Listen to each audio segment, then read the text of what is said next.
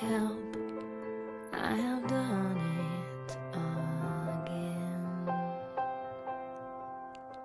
I have been here many times before. Hurt myself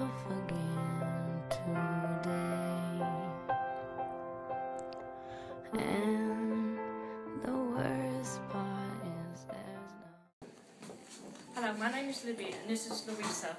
We are going to be interviewing a range of different people to get different insights on other people's opinions on our topic, which is to highlight the pressures on young people, especially influenced by the media. First off, I'm going to be interviewing Madupi Lucas. Hello. So, do you think there's a pressure being put on young people by the media? Definitely, I think there's a pressure to be like perfect, and they're confusing of real life perfection to this media perfection of big boobs, you know, big ass, stuff like that. Secondly, do you think there's a high rate of underage sex and why? Definitely, I mean, I have like most of my friends have probably done it by now, you know, like more than one guy.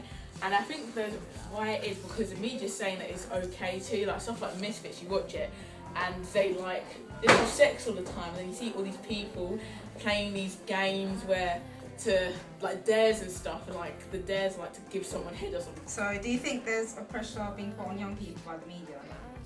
Um, About being perfect, being skinny. And why is that? um, TV shows, the news, magazines, many different sources. Do you think there's a high rate of underage sex and why? Um, yeah, definitely. Um, we hear about it in school. Um, big about it, saying it's so great. I don't know. Do you believe that the media has influenced young people to be beautiful and skinny? Yeah, definitely. Uh, on a scale of 1 to 10, 1 being not much and 10 being a lot, how much do you think the media pressures young people, for example, with being perfect? Nine. Why is that? Or because there's loads of magazines out there that are telling you that, like, showing people our age and stuff like that, how to act and be like this and whatnot.